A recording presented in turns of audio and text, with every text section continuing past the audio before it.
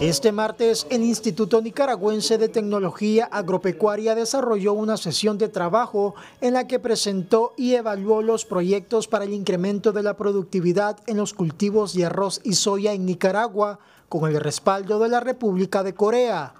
El objetivo de la sesión de hoy es un comité estratégico donde se va a presentar y se van a evaluar los próximos proyectos para el periodo 2021, lo que va del 2021 al 2022 en este caso específicamente sobre dos rubros importantes para la economía de nuestro país, como es la soya y como es el arroz. Rubros donde ellos han estado aportando de manera muy significativa en los procesos de investigación, en la adopción de variedades de, Corea que han traído acá y donde nosotros los hemos estado adoptando y los hemos estado este, trabajando junto con los productores.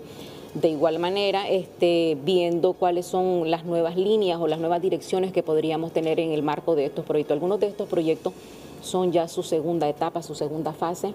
El proyecto de cooperación agrícola entre INTA y Copia comenzó en el año 2017 y actualmente se están llevando a cabo cinco proyectos que incluyen arroz, tomate, soya, ajonjolí y el manejo de ganado. En este comité se explicaron los logros y planes a futuro del proyecto Arroz y Soya que se está completando este año. Yo creo que es importante diseñar proyectos que reflejen el presente y el futuro, como la autosuficiencia alimentaria, el cambio climático, la escasez de mano de obra rural y la mejora de los ingresos y la agricultura sostenible. Este, esperamos que este comité de hoy continúe teniendo resultados positivos para la industria del arroz y la soya en Nicaragua.